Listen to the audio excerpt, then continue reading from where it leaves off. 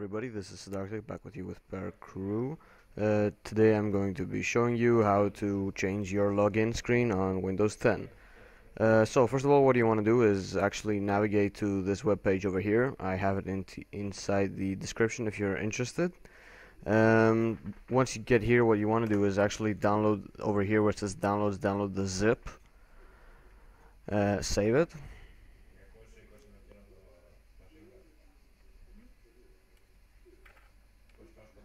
And once it has been saved just go ahead open it up. In the meantime you can close your browser it's okay.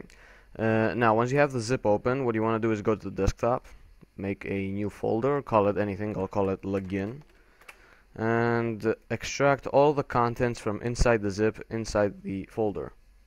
Now once that is done you can close the zip and open up your folder to see all these files over here now you're gonna see this this uh, executable called W10BG logon changer.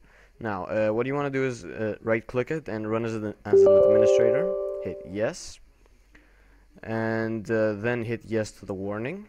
And then you are presented with the interface of uh, the program over here.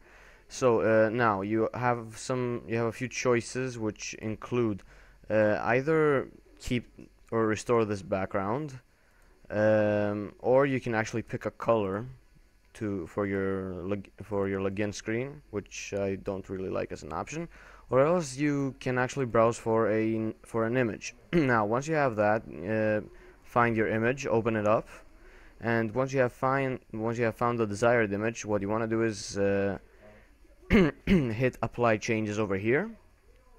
Uh, I have already done it, so I'm not gonna hit it. So I'm not gonna hit it and uh, then you can hit lock windows and when you're at the login screen you will have changed your background. So that was my quick tutorial. Hope you enjoyed it guys. Just for the heads up.